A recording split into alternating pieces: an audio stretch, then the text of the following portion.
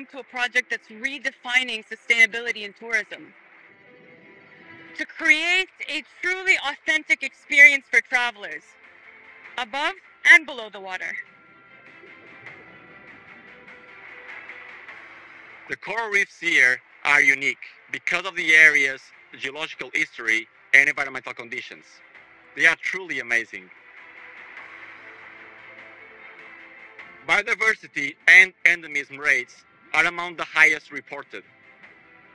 So endemism or endemic species are species that are only found in a particular location. For example, over 6% of the Red Sea corals and 12% of the fish species cannot be found anywhere else in the world. These conditions make the Red Sea extremely valuable and conservation efforts are essential.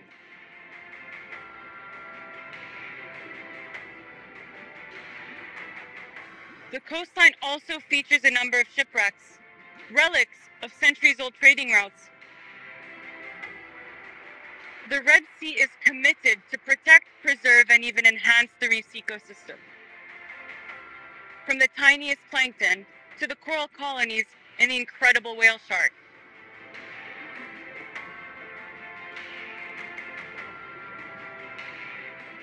Here, on the Red Sea, science and development have a common goal